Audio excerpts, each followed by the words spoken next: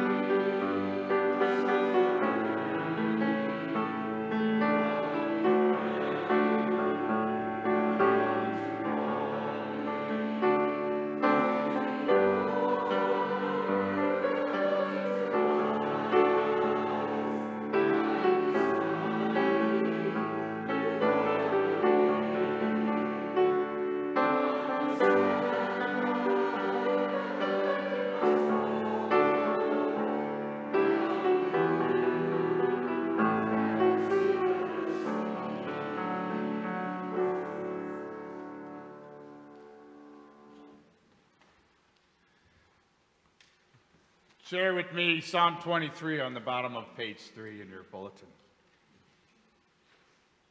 The Lord is my shepherd, I shall not want. He makes me lie down in green pastures. He leads me beside still waters. He restores my soul. He leads me in right paths for his name's sake. Even though I walk through the darkest valley, I fear no evil, for you are with me. And your staff you comfort me. You prepare a table before me in the presence of my enemies. You anoint my head with oil, and my cup overflows. Surely goodness and mercy shall follow me all the days of my life, and I shall dwell in the house of the Lord my whole life long. Let us pray. God, we give thanks this morning, remembering our sister Sue. We thank you for giving her us to know and to love as a companion in our pilgrimage on earth. And in your boundless compassion now, Lord, console all of us who mourn, giving us your aid so that we might see in death the gate to eternal life, so that we may continue our course on earth in confidence, until by your call we are reunited with all those who have gone before us. Through your Son, Jesus Christ, our Lord. Amen. Let us sing verses 1 and 3 of Here I Am, Lord, 574.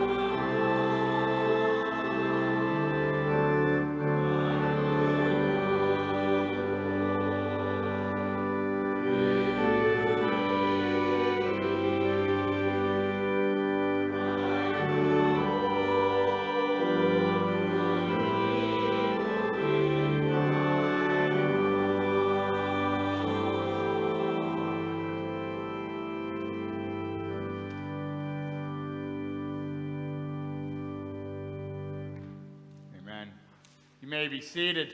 Holly's going to come forward, a, a friend of hers here at Messiah.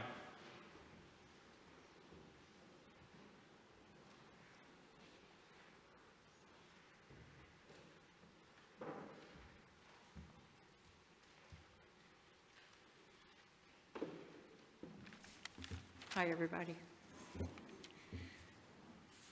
This is a great tribute to Sue. She would just, she loved singing in the choir, and she would so love to know that you're here. I'm sure she does know it.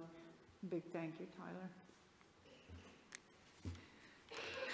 I'd like to say a few words about the Sue that I knew. Uh, we met in choir at Messiah here. She was a fellow alto and also a fellow nurse, and we bonded quickly. We had a lot of things in common. We both loved traditional worship, but we went to contemporary because our families went there.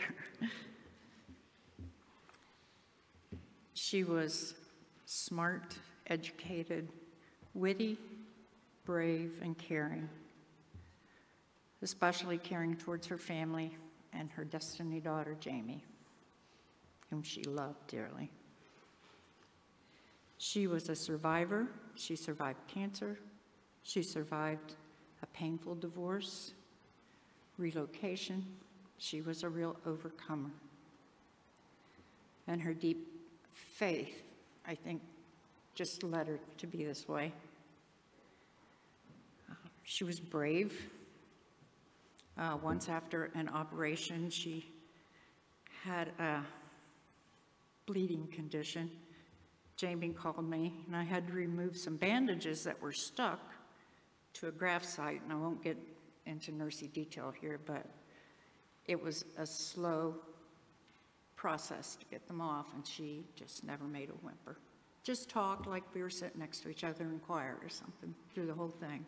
She was so brave. And what was sure to be a painful thing. And she was kind of a quiet leader. She led, she taught nurses how to be nurses. She taught others to be humble and giving by her own selfless example to help those in need. And that included me. She also had a very dry wit, and I don't know that a lot of people knew that. I'll tell you a story.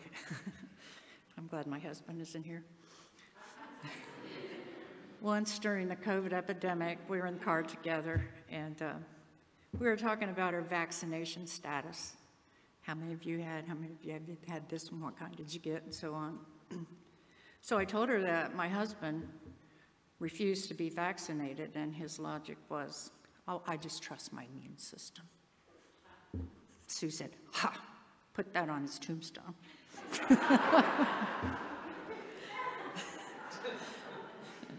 She's very dry wit, very dry. We shared a lot of nurse stories, uh, some sadnesses and some humor, Dallow humor, some people will call it, but we really understood each other. The last time I saw her, she was she was well into her disease process, but she, she knew who I was. This was last fall. And um, we took a walk in the garden, and we talked, and we laughed, and we hugged. And I treasure this memory, and I treasure all the memories I have of her. I'll miss her. But I know that she is in a better place. She's free of pain. Um, she's happy and she's sitting with our Lord in glorious heaven, happy and at peace.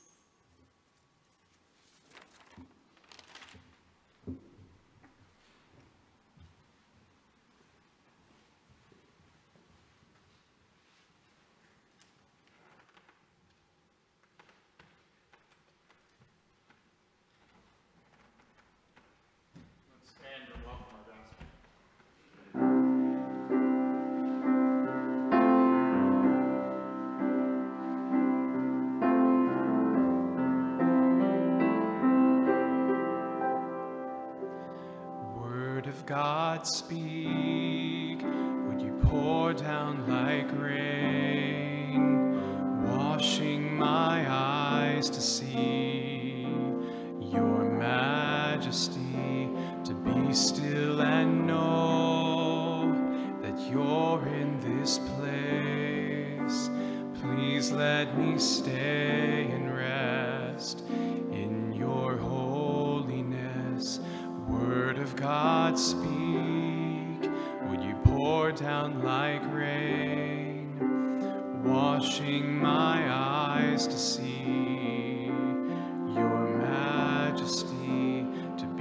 still and know that you're in this place.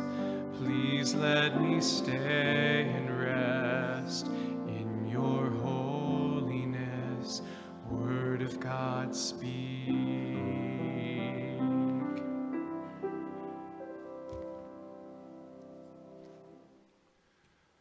Our Holy Gospel is from uh, St. John, the 14th chapter. This is Jesus uh, speaking to his disciples before he's arrested, and which would lead to a torture and his death and then resurrection. So, Jesus says to his disciples, Do not let your hearts be troubled. Believe in God, believe also in me. For in my Father's house there are many dwelling places. And if it were not so, would I told you that I go to prepare a place for you? And if I go and I prepare a place for you, I will come again and will take you to myself, so that where I am, there you may be also. And you know the way to the place where I'm going. And Thomas said to Jesus, Lord, we don't know where you're going. How are we going to know the way? And Jesus said, I am the way and the truth and the life. No one comes to the Father except through me. And if you know me, you will know my Father also. And from now on, you do know him, and you have seen him. The gospel of the Lord. You, you may be seated. I meant to have uh, two other scriptures read uh, this evening uh, that reminded me of Sue. The first one shouldn't be a response or a surprise at all. It's Psalm 100. Make a joyful noise to the Lord, all the earth. Worship the Lord with gladness. Come into his presence with singing. Know the Lord is God. It is he that has made us, and we are his. We are his people. We are the sheep in his pasture. Enter his gates with thanksgiving and his courts with praise. Give thanks to him. Bless his name. For the Lord is good. His steadfast love endures forever, and his faithfulness to all generations. And the other one is from Galatians, from Paul's letter. In the fifth chapter. For you were called to freedom, brothers and sisters. Only do not use your freedom as an opportunity for self indulgence, but through love become slaves to one another. For the whole law is summed up in a single commandment you shall love your neighbor as yourself.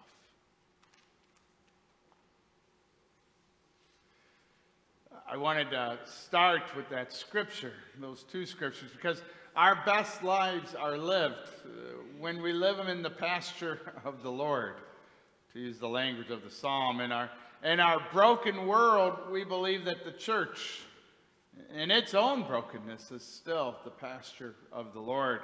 It is here that we have the opportunity to worship the God that has created us, to, to make a joyful noise to the Lord in that worship. It's, it's here that we surround ourselves with other sheep, enjoying the presence of God, caring for each other as we huddle against dangers in this world, and then finding and sharing the best grass that leads us to the best life possible. We can find God anywhere. You don't need to come into a sanctuary to find God. But we are more likely to find God's Spirit in this world when we surround ourselves by the people of God. Our best lives are lived in the pasture of the Lord, the church. And Sue Hendershot knew this as well as any of us. She grew up in North Canton, destined to be a doctor and an, or a nurse because her father was a doctor and her, sister, her mother was a nurse, and her two brothers became doctors, and Sue became a nurse, and they married nurses and doctors among them. They had a, a plethora of professional medical people in their family. Uh, she uh, served as a nurse in all sorts of ways, and in the last part of her career, she trained up a generation of nurses at various colleges, ending at Ohio University in Zanesville. A doctor married to a nurse, it, it sounds idyllic, uh, sort of the, the perfect sort of house that you would think of, but, but her uh, married life and fam- family life, as Holly indicated, was anything but idyllic. It was, it was chaotic and, and, and, and messy uh, because of addictions and the problems that that caused and the ripples that that caused around finances and family and having to move around. Sue was in that marriage for 42 years, into her 60s, before she uh, got a divorce. And it's a testament, I'm sure, to the seriousness with which she took the promises that she made in her vows. And she stayed that long in that chaotic marriage. And the constant in the midst of that, the thing that she relied upon was work in the church. Wherever their family ended up moving for a new job across the country in various spots, Sue would find the local Lutheran church and join and become a part of that congregation. She would find a place not just to worship, but a place to serve. She sang in every choir of the churches that she belonged to. She served as a Sunday school teacher and a youth advisor and a welcome chair. And, and I'm betting if Sue was here, she could tell us seven other things that she did in the congregations that she served. Her, her hand would shoot up when an extra hand was needed. And through her church family, God became a refuge for her, right? Uh, a safe pasture in the midst of what could be a chaotic life, a place where she found peace and joy. Paul, in his letter to the Galatians that I read, tells us that our lives of faith should be marked by love for one another, a love that serves one another, a love that sacrifices for one another. And it's kind of a counterintuitive thought that, that no matter how difficult our life is, it is a better life if, even in the midst of those difficulties, we are people who sacrifice, who are generous towards our neighbors, even when we don't have a lot left to give. That that touching of the Spirit and those acts of generosity and sacrificial love open us up in the midst of our brokenness. So, while Sue was a junior high Sunday school teacher at Cambridge Lutheran Church, she got to know uh, one of her students who she also, uh, her children went to elementary school with, and that 13 year old was Jamie, who we know well here. And Jamie herself uh, was in a chaotic space in her life, difficult place, and Sue became a safe refuge for her, a refuge that that helped her not just survive, but thrive. So through her teenage years, Jamie would often spend four or five nights a week at Sue's house. And eventually, uh, living with Sue all the time. Sue kept Jamie from going down a different road that would have led not just to dysfunction, but possibly destruction. And she did that by giving what she had left at the end of long days herself. And in that, Sue was blessed, finding a better life for herself too.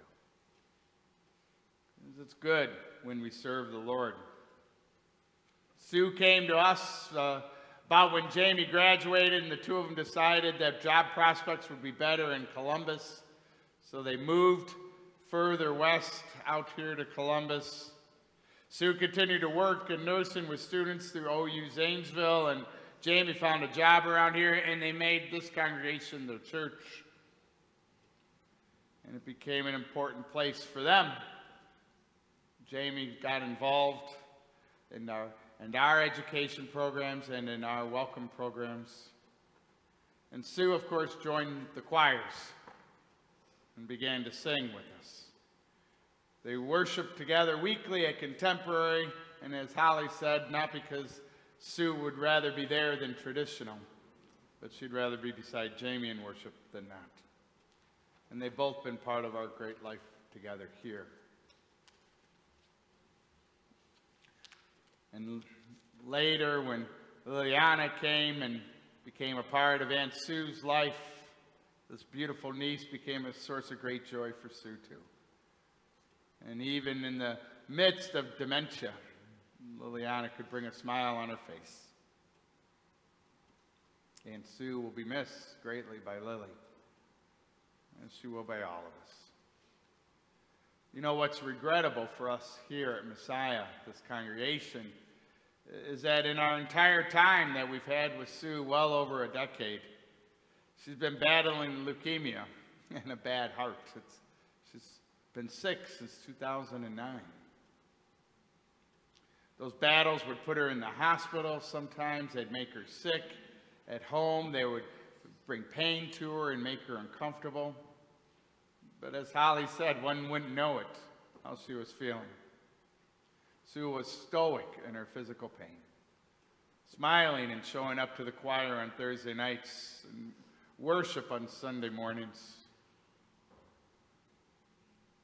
She didn't like to be the center of attention. She could play the piano and the organ, but didn't like all the focus on her, so she rarely volunteered to do that. A few years ago, she was diagnosed with vascular dementia. When she got lost walking her dog in the apartment complex, Jamie had to get help from Sue's brother for further care that took place up in Findlay. And that was about 18 months ago. And the dementia grew worse, and her health grew worse, and, and it brought us here.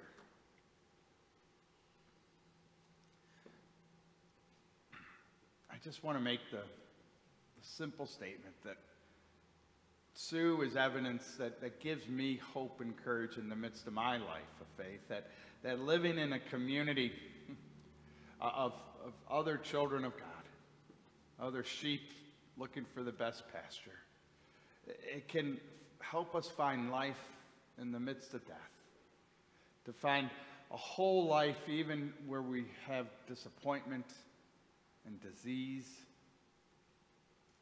That none of us needs to be rich to be generous. We just need a desire to sacrifice for our neighbor the riches and the blessings we already have, and the Holy Spirit that has transformed us and made us God's people. Sue will be missed. She'll be missed by all of us here. Her positive energy and her easy smile and her dry, biting wit, stoic nature, and her commitment to serve. She has left her mark on us. And it's a mark made in the shape of a cross, a sign of Jesus' sacrifice for each of us that we have been marked with in the waters of our baptism and are called to go and sacrifice and serve for others.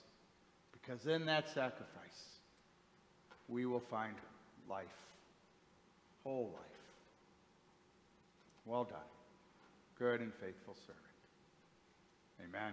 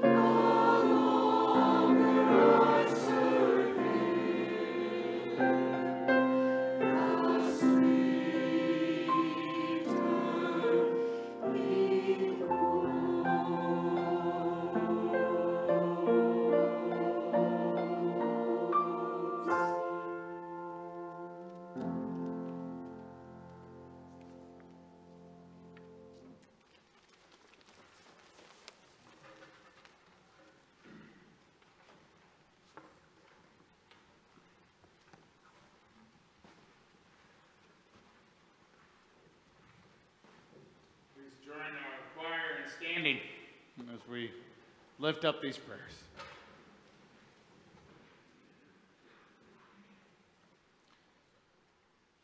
Creator God, in the waters of baptism, you have called each of us to faith. May the cross of Christ that has saved us be a cross that we rely upon now in the midst of our mourning. Make us people, Lord, that are faithful. Make us children of God that live a life of sacrifice and service for others. Lord, in the midst of feeling the sting of death tonight, May we have trust in the good news of the resurrection that promises life for each of us. Lord, help us find that life in the midst of our struggles that we have tonight. And comfort all of us who mourn the loss that we feel at the passing of Sue. May we trust in the good news of her life that is in your hands now forever.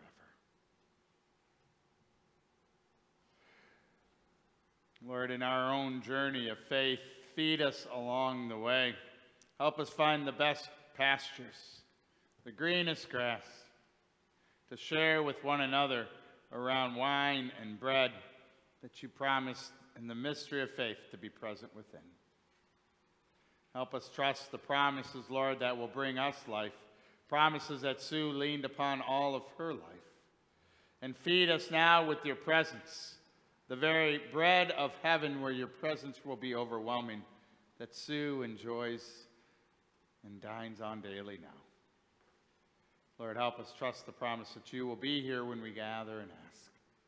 As Jesus told his disciples in the night he was betrayed where he took bread and broke it and gave thanks, said, Take and eat. This is my body given for you. Do this in remembrance of me. And again, after supper, he took the cup and he blessed it and he gave it for all to drink, saying, This cup is a sign of the new covenant shed in my blood for you and for all people for the forgiveness of sin. Do this for the remembrance of me. For as often as we eat this bread and drink this wine, we proclaim the mystery of faith that Christ has died, Christ has risen, Christ will come again. Come, Holy Spirit, come. Find us in this house of worship. Bind us together as your people in this congregation. Send us to share the good news of the presence of Christ that we have found together in the waters of baptism, sharing joyfully the Spirit that is alive. Here. Amen. Pray with me, please. Our Father, who art in heaven, hallowed be thy name. Thy kingdom come, thy will be done, on earth as it is in heaven. Give us this day our daily bread, and forgive us our trespasses, as we forgive those who trespass against us.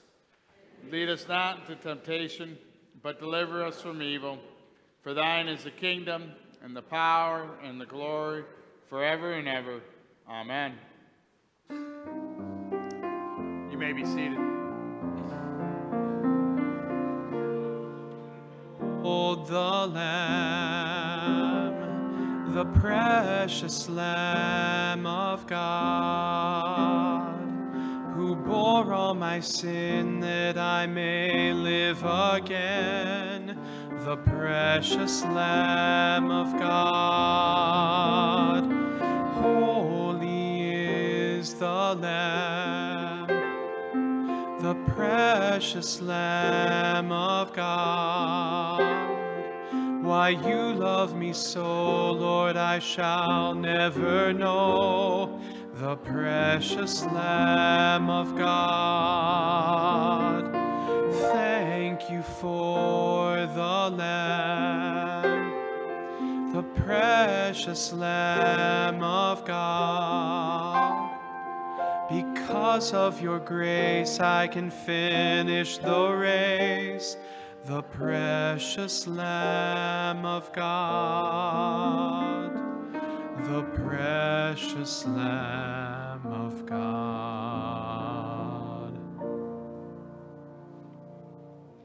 It is good to have so many visitors here Uh, we invite you to this meal that we're going to share together. This isn't a Lutheran meal, this is uh, Christ's meal. And uh, God is anxious to meet you uh, with this wine and this bread. So come and eat with us uh, this evening. You are welcome here. When you come forward, uh, take an empty cup at the center. I will share bread with you in this wafer, and then you go to left or right, and they will pour wine into your empty cup for the wine. Come and eat. All will be served here.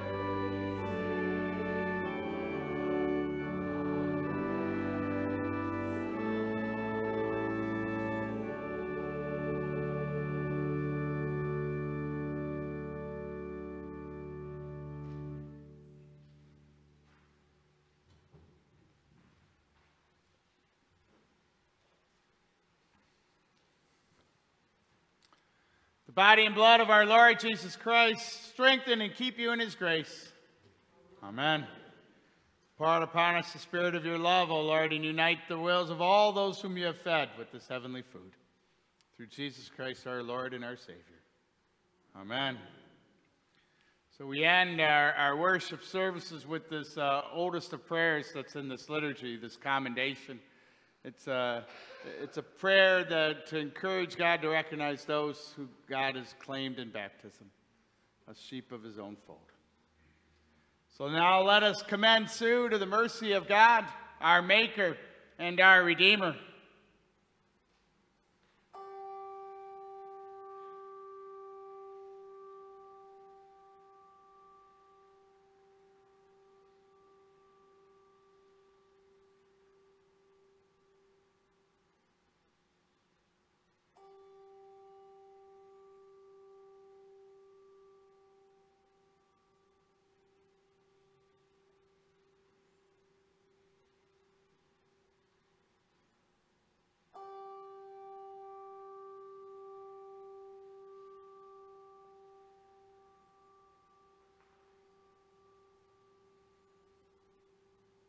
Into your hands, O merciful Savior, we commend your servant Susan Marie Hendershot.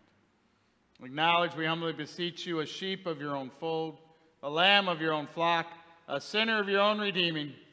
Receive her into the arms of your mercy, into the blessed rest of everlasting peace, and into the glorious company of all the saints in light. Rest eternal grant her, O Lord, and let perpetual light shine upon her. Amen.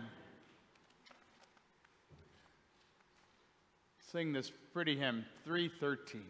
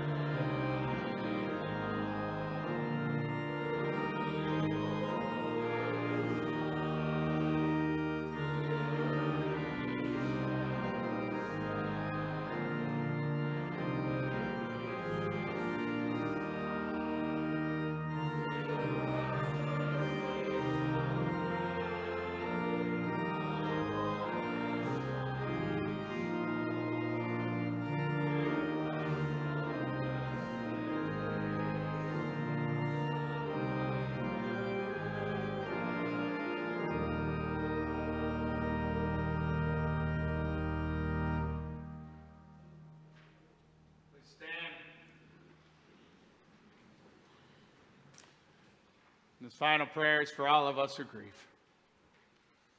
Oh Lord, support us all the day long of this troubled life until the shadows lengthen for us and the evening comes and the busy world is hushed and the fever of life is over and our work is done. Then in your mercy, Lord, grant us a safe lodging and a holy rest and peace at last as you have given our sister Sue. Through Jesus Christ our Lord. Amen. And a blessing. May the Lord bless you and keep you. May the Lord make his face shine on you and be gracious unto you. May the Lord look upon you all with favor and grant you God's peace. Amen. We are going to end with Praise to the Lord Almighty, hymn 858. And since it's our last song, let's just sing all four verses. It's a beautiful hymn. All four verses, Ernie.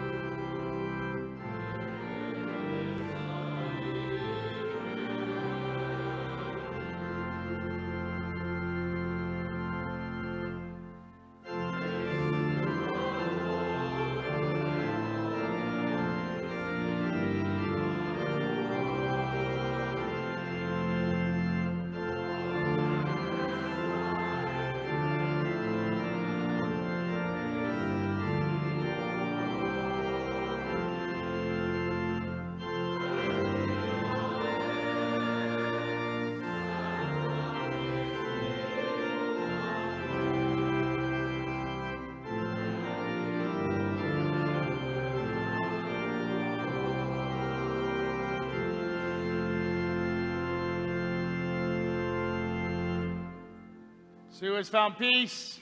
May you find peace tonight and go and serve the Lord. Thanks be to God. Amen.